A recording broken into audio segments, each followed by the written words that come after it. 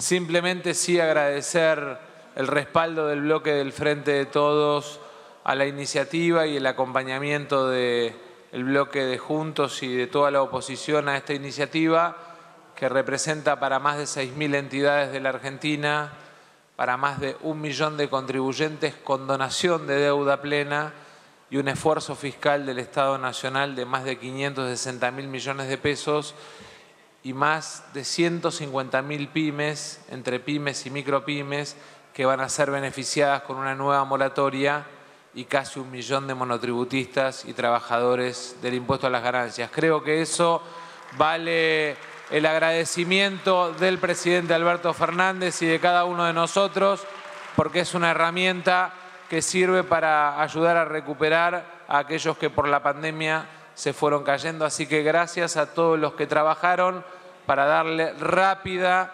sanción o media sanción a este proyecto.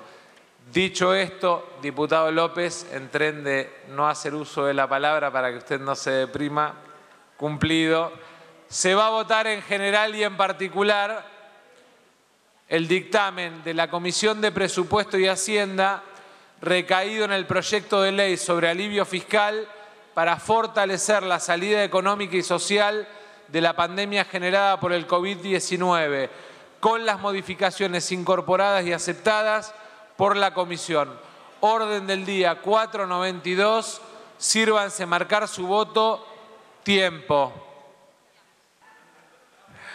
198 afirmativos, cero negativos, cero abstenciones.